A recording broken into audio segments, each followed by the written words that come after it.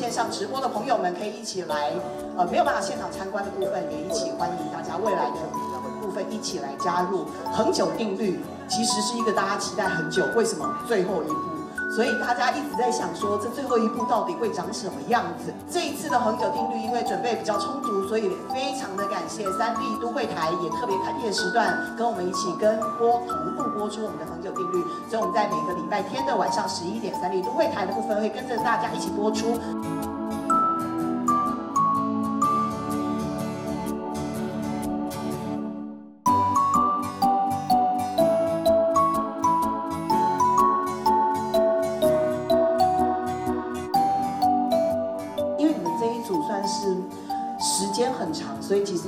培养到很多的默契，对不对？那你们平常培养默契在干嘛？会干嘛？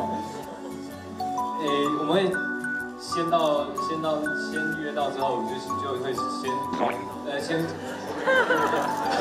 为我先到场之后，就会一直一直讲话，一直讲话，然后讲到忘记做正事，然后最后最后一个呃先聊了一个小时之后才开始。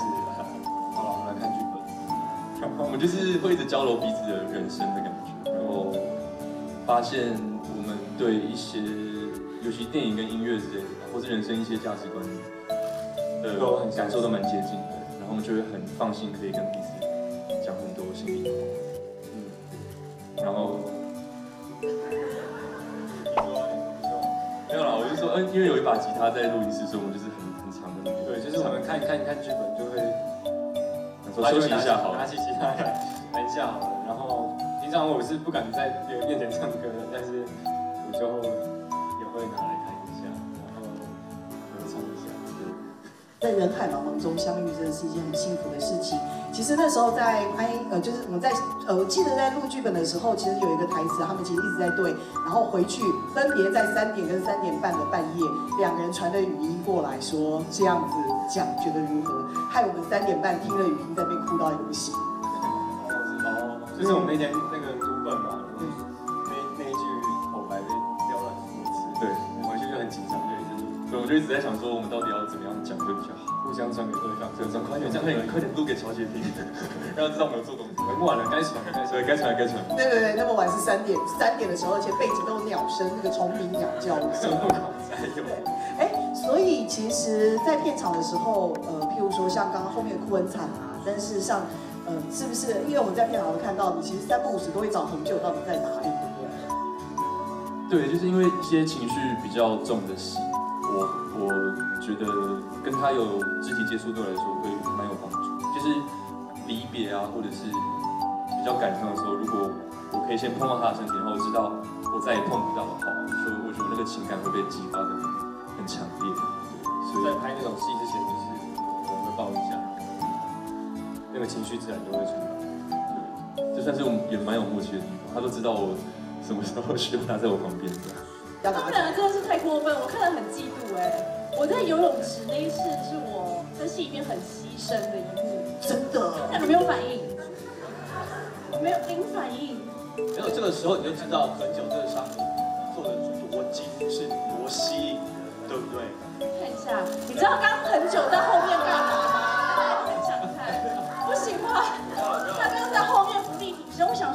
穿这么多为什么要浮力挺身？是不是想漏啊？看一下，九九，赶快救一下你们的很久了。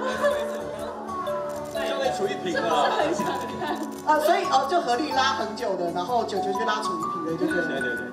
哎，那九九你看到了就是恒恒极智能恒人系列在里面，你有没有觉得这里还是很骄傲？其实真的蛮骄傲的，因为前面已经有八款了嘛，然后。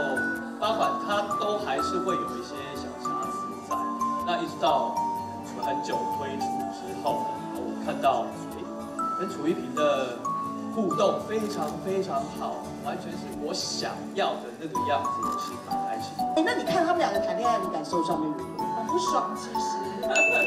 演戏的时候，到底演机器人比较难，还是演人比较难？我觉得演很久的难处可能是。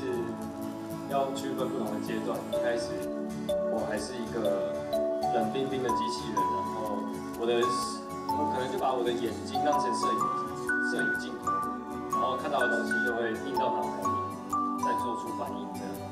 然后最一开始的时候，我会希望我的视线是比较定的，然后到后期越来越像人之后，眼睛才会比较有有人的味道的感觉。然后我觉得做出这个阶段的区分，尤其每一场就交错的台，哦对对对对，每那冷每一次都要提醒自己。那冷冰冰的教授呢？我觉得我们两个角色都蛮难的。那我的角色难在，他其实观众是透过他的视角去相信他是机器人这件事情，因为毕竟我们就很熟，所以片场就是都会互动啊。可是突然要开始演的时候，我就要相信他是机器人，我觉得是需要难度。那我觉得我要担起这个让观众相信我们这个世界的这个责任，然然后再加上我性格不是那么冷漠的人，就大家都知道我是一个比较感性，然后比较情感很浓烈的人，所以一开始我会有点障碍，想说我要怎么表达他的冷漠，但我后来发现他就只是藏在里面而已。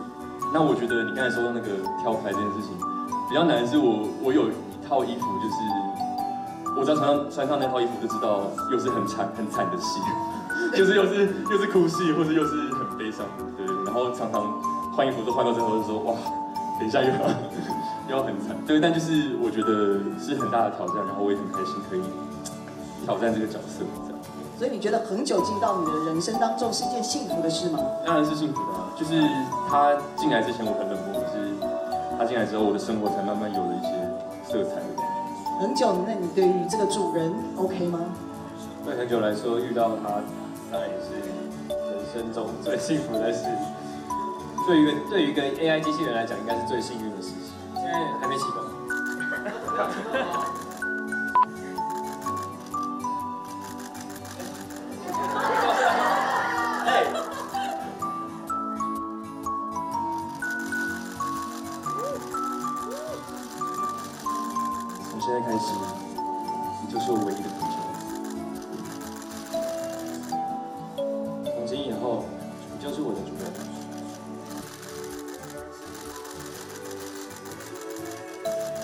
好，从今天开始，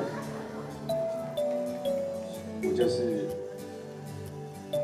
他唯一的伴侣，陪伴。哎，这么早就原地结婚了，是不是？哎，你没有想过我的感受吗？没有。原地结婚。我们接下来还有两位学生代表，哎，两位请上。我以为拍摄的时候被闪已经就是就那样子的，殊不知拍摄完以后还要再被他们删，而且他们永远都一起去厕所。我有一次就问教教授说：“哎，教授你去厕所？”他说：“对啊。”我说：“嗯，那你要上厕所吗？”他说：“没有，是很久想上，我陪他去上。”没有，就是可以顺便聊天，有时候就是休息一下，然后可以，对啊，因为有时候录节目，对，缓冲一下，就我们都比较容易宕机嘛。也在同一时间喝喝咖啡，哦，生理生理机制也同步了。嘉怡呢，这一次在里面，呃，你就是送糕饼，害我们家的那个教授受伤，对，没有我可能就没有这段感情。所以两位算是红娘，对不对？是啊，就是虽然我也爱教授，但我就是崇拜欣赏这样，我不会你送上的是什么？这个百年大饼。要送祝他们。好，接下来呢，请问一下演员王英瑶先生，你送的是？原地结婚的嘛，我想应该你们可以用零点一五米吃这个糕饼吧？来，不是零点一五米，是零点四三米。零点哎，更近那个零点哦，零点四三来，请用开个拿。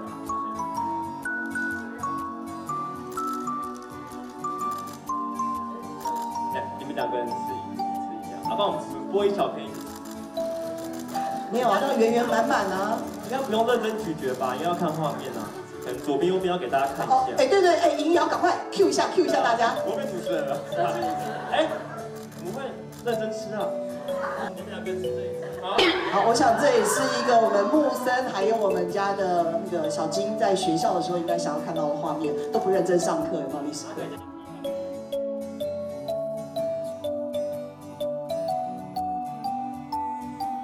好，希望大家能够百年好合，都能在茫茫人海当中找到自己的幸福。我们希望合力也可以找到自己的从这个角度看，非常害羞。气息，稳定我不安的心，想把你紧紧揣进怀里，不愿思考分离，要看仔细，们生活的痕迹，有限日子里一起呼吸，每刻都是很久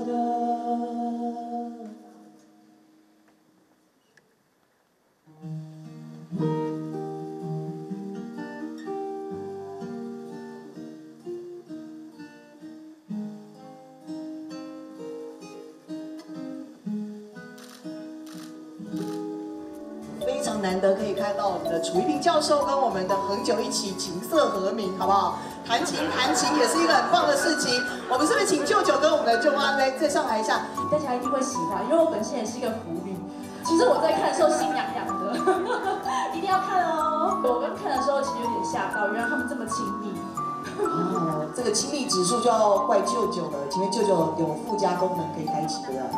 呃，有非常多，然后这个附加功能呢是相处之后，它会靠它的 AI 的人工智能做改善，然后非常符合你的生活跟你的个性。这个角色好像生活中有蛮多人，就是都会有类似的处境，就是很孤单啊，很寂寞。然后我希望很多人看这个剧可以深深深的被疗愈，然后相信自己一定会遇到一个一个人可以陪伴你，然后可以带你走出任何的创伤。